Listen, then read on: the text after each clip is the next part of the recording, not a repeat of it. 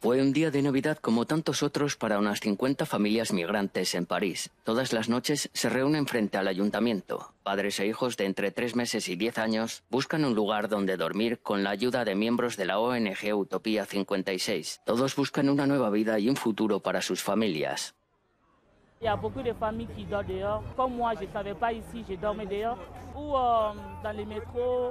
Même là-bas, là, c'est pas sécurisé parce qu'il y a des voyous. Même, euh, c'est compliqué, quoi. Mais quand même, on dort dehors si on n'a pas de solution. La ONG consigue alojar entre un 20 y un 40% de personas durante una o dos noches. Son sobre todo mujeres con niños pequeños procedentes de países como Burkina Faso, Costa de Marfil, Senegal o Mali. Cada día los voluntarios de Utopía 56 distribuyen alimentos, mantas y pañales para bebés mientras se preguntan qué será de estas personas.